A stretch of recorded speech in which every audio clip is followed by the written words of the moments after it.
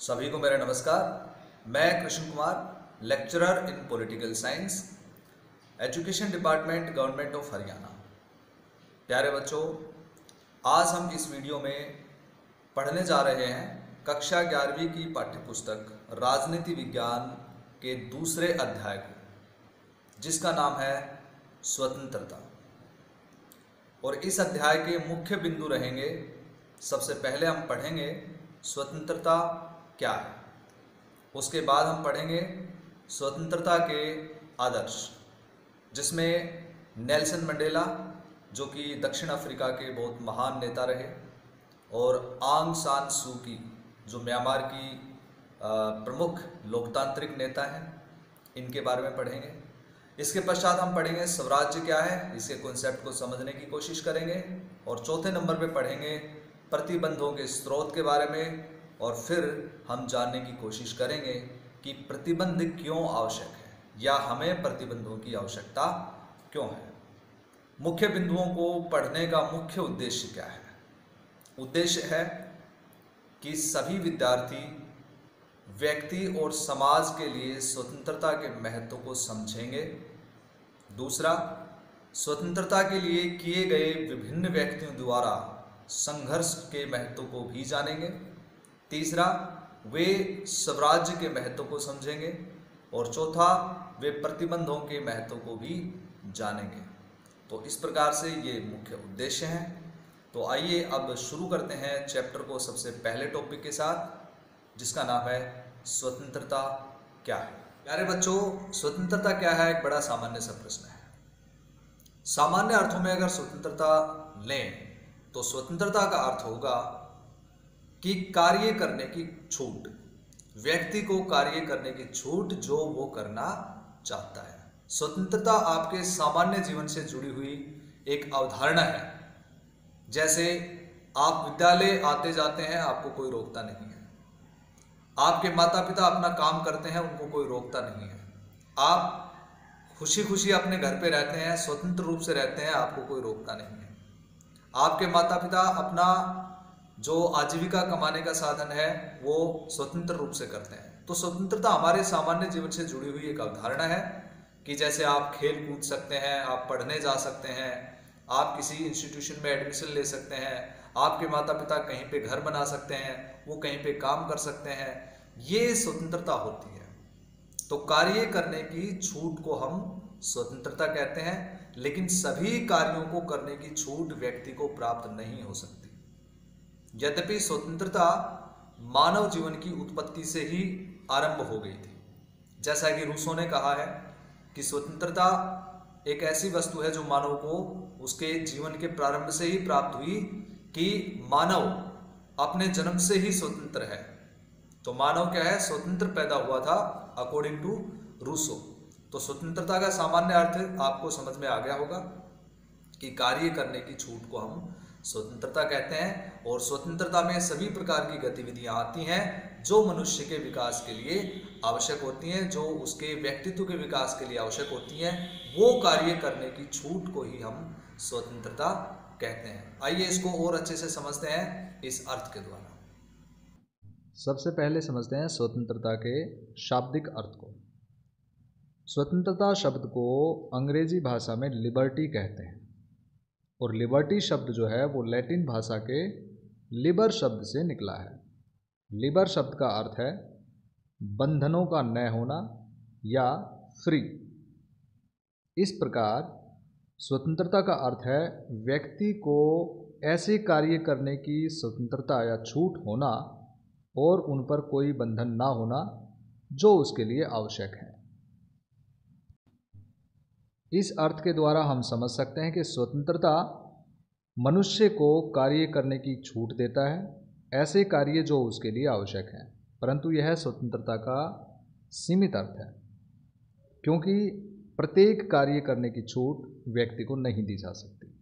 स्वतंत्रता का वास्तविक अर्थ यह है कि व्यक्ति पर अन्यायपूर्ण तथा अनुचित प्रतिबंध नहीं होने चाहिए।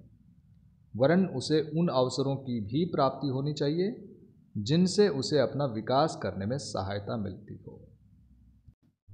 आइए अब समझते हैं स्वतंत्रता की कुछ परिभाषाओं को। सबसे पहली परिभाषा लेते हैं गैटेल।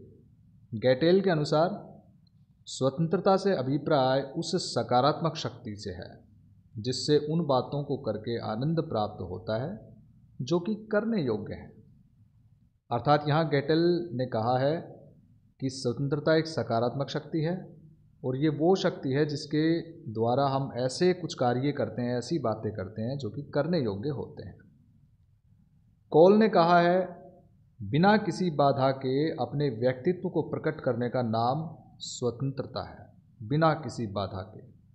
परंतु हम पहले ही बात कर चुके हैं कि सभी प्रकार के बंधनों का अभाव नहीं होना चाहिए, कुछ प्रतिबंधन, प्रतिबंध या बंधन भी होने चाहिए।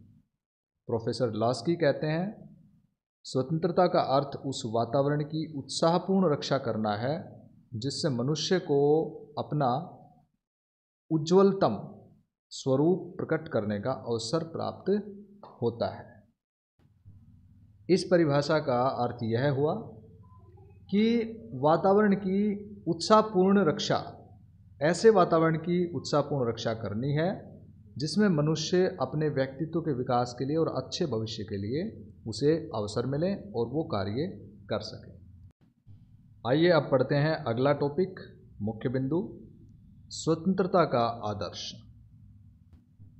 प्यारे बच्चों, जैसा कि हम पहले ही इस वीडियो में डिस्कस कर चुके हैं कि स्वतंत्रता शब्द की उत्पत्ति मानव जाति के साथ ही हुई है। जब भी मनुष्य की स्वतंत्रता पर आघात किया गया है, जनता ने क्रांति पैदा की है।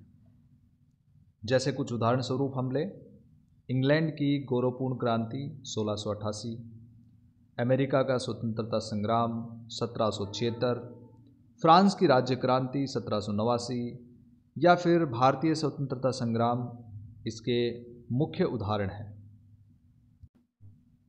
विभिन्न व्यक्तियों ने स्वतंत्रता प्राप्ति के लिए संघर्ष किया और अपना पूरा जीवन लगा दिया। अनेकों लोगों ने इस संघर्ष में अपने प्राणों की आहुति भी दी।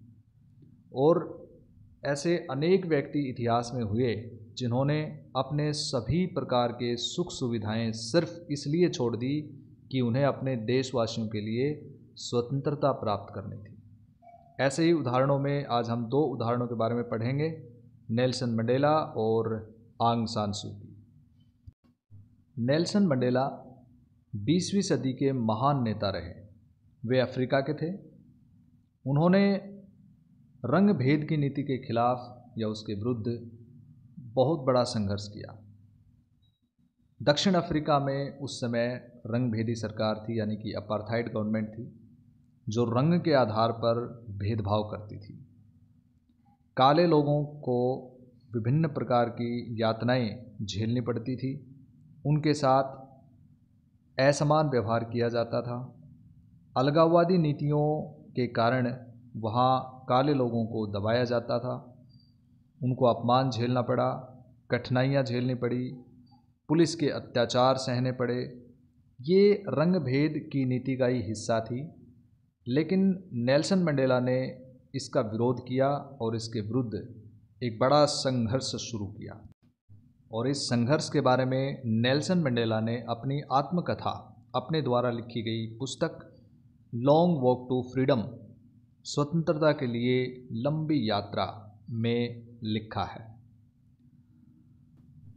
विशेष बात यह है कि नेल्सन मंडेला का ये जो संघर्ष था, ये केवल काले या अन्य लोगों के लिए नहीं था, बल्कि श्वेत लोगों के लिए भी था और इसी स्वतंत्रता के लिए नेल्सन मंडेला ने अपने जीवन के 28 साल जेल की काल कोठरियों में बिताए।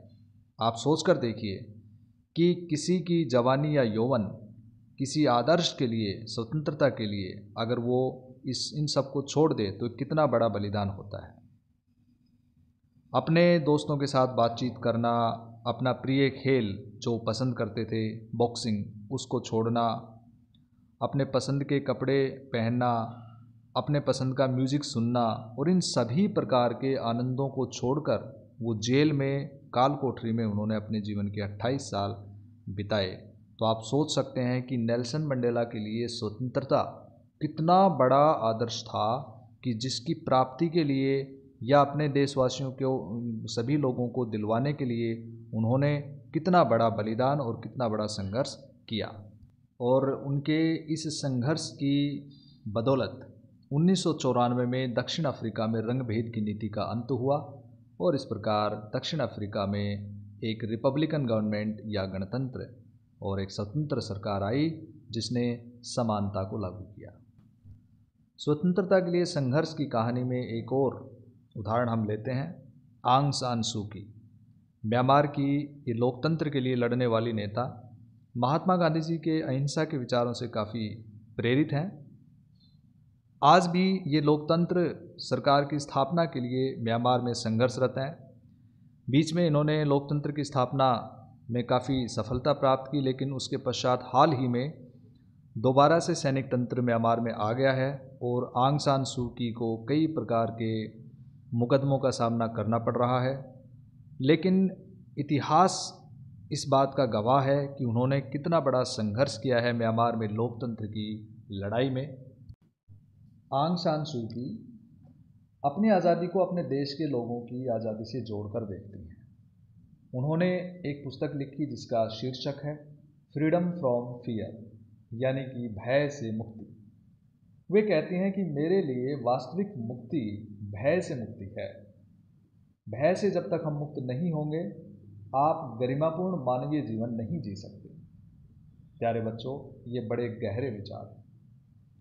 जो हमसे एक क्षण रुकने और अपने निहितार्थ समझने की मांग करते हैं। सूकी कहती हैं कि हमें न तो बाकी लोगों के विचारों से और न ही सत्ता के व्यवहार से डरना चाहिए। हम जो करना चाहते हैं, उसके बारे में समाज के लोगों की प्रतिक्रियाओं, साथ के लोगों के मज़ाक उड़ाने से ही अपने अथवा मन के भय से नहीं डरना चाहिए। इसके पश्चात भी हम अक्सर भय का प्रदर्शन करते हैं। आंग सान सूकी के अनुसार, गरिमापूर्ण मानवीय जीवन जीने के लिए ज़रूरी है कि हम भय पर विजय पाए। प्यारे बच्चों, इस प्रकार से हम देखते हैं कि आंग सान सूकी ने कितना बड़ा संघर्ष किया। अपने परिवार के लोगों से भी वो कई सालों तक नहीं मिली और सैनिक तंत्र से लड़ती रही ताकि म्यांमार में लोकतंत्र की स्थापना की जा सके और सभी व्यक्तियों को स्वतंत्रता प्राप्त हो सके। आंग सान की और नेल्सन मंडेला की इन दो पुस्तकों में हम स्वतंत्रता के आदर्श की शक्ति देख सकते हैं। यही आदर्श हमारे राष्ट्रीय संघर्ष और ब्रिटिश, फ्रांसीसी तथा पुर्तगाली उपनिवेशवाद के खिलाफ एशिया अफ्रीका के लोगों के संघर्ष के केंद्र में था। अब पढ़ते हैं अगले टॉपिक को, जिसका नाम है स्वराज।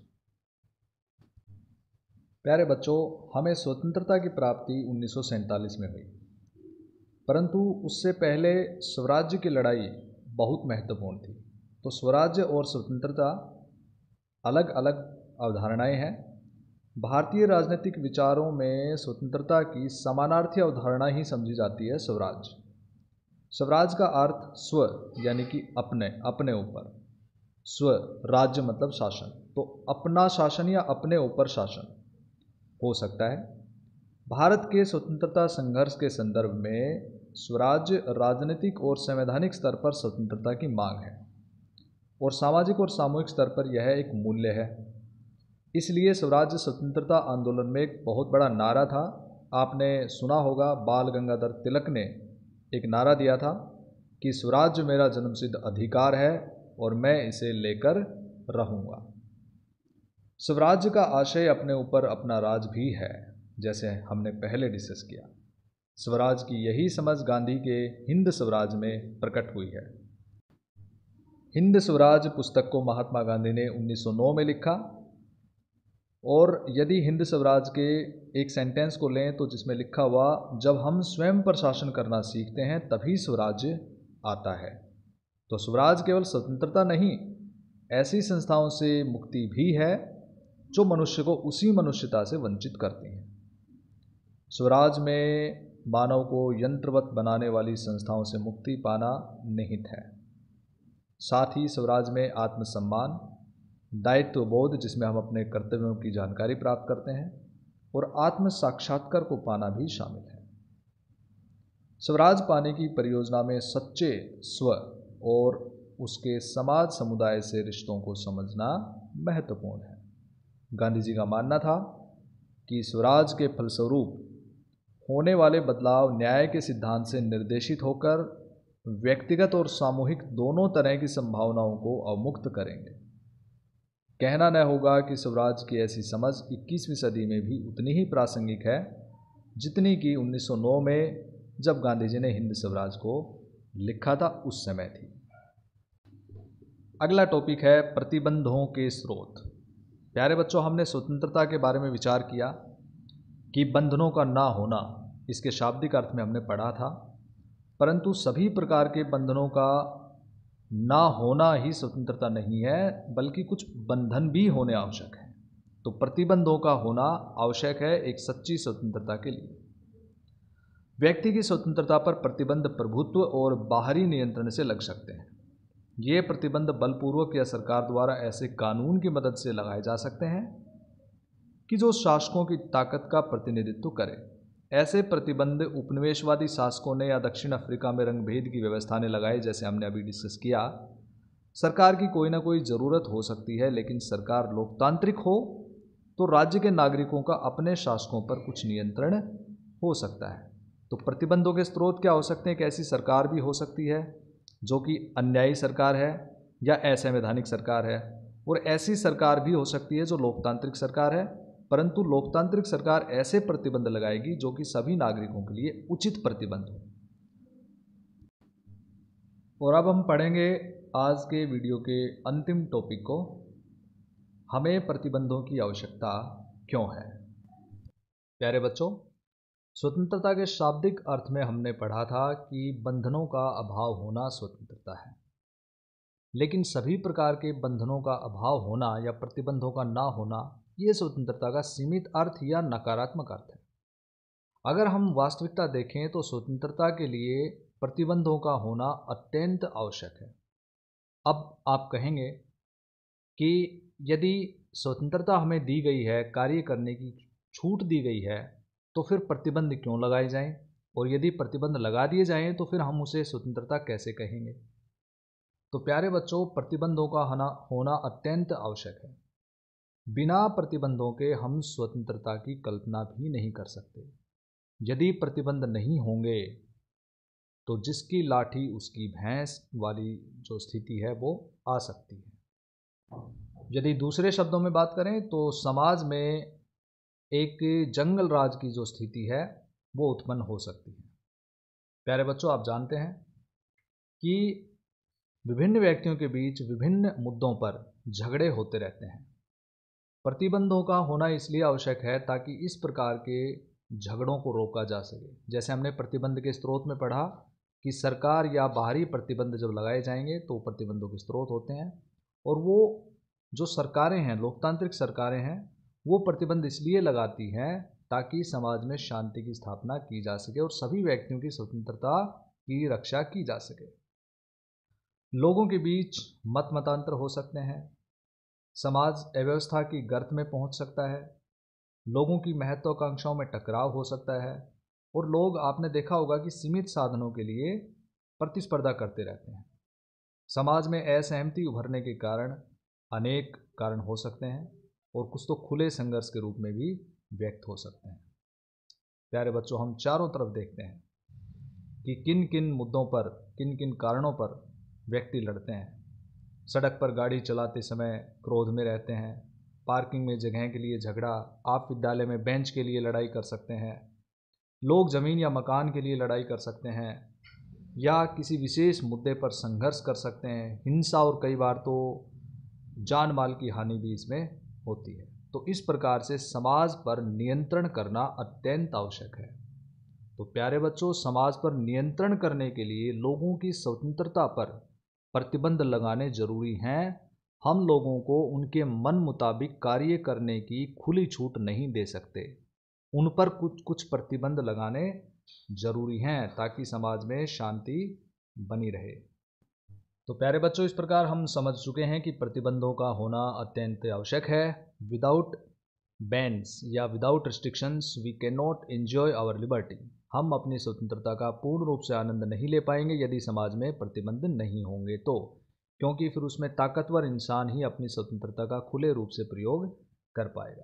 हालाँकि महत्वपूर्ण सवाल यह है, पहचानना है कि स्वतंत्रता पर कौन सा प्रतिबंध आवश्यक और औचित्यपूर्ण है। और कौन सा नहीं। अर्थात कौन सा प्रतिबंध लगाना चाहिए, कौन सा प्रतिबंध नहीं लगाना चाहिए। और कौन सी सत्ता औचित्यपूर्ण यह कह सकती है कि क्या किया जा सकता है और क्या नहीं। और क्या हमारे जीवन के कुछ क्षेत्र और कार्य ऐसे हैं जिन्हें सभी बाहरी प्रतिबंधों से मुक्त छोड़ दिया जाना चाहिए? इन सब सवालों के जवाब के लिए आपको स्वतंत्रता के बारे में और व्याख्या करने की आवश्यकता है और समझने की आवश्यकता है जो हम अगले वीडियो में समझेंगे। आइए अब पढ़ते हैं स्वतंत्रता के बारे में नेताजी सुभाष चंद्र बोस के विचार। 19 अक्टूबर उन्नीस सौ उनतीस को लाहौर में एक छात्र सम्मेलन में उन्होंने एक भाषण दिया, अध्यक्षीय भाषण दिया। उसके कुछ अंश यहाँ पे हम पढ़ते हैं। उन्होंने कहा, यदि हम विचारों में क्रांति लाना चाहते हैं तो सबसे पहले हमारे सामने एक ऐसा आदर्श होना चाहिए, जो हमारे पूरे जीवन को एक उमंग से भर दे। यह आदर्श स्वतंत्रता का है। लेकिन स्वतंत्रता एक ऐसा शब्द है, जिसके बहुत सारे अर्थ हैं। हमारे देश में स्वतंत्रता की अवधारणा विकास की एक प्रक्रिया से गुजरी है। स्वतंत्रता से मेरा आशय ऐसी सर्वांगीण स्वतंत्रता है, जो व्यक्ति और समाज की हो।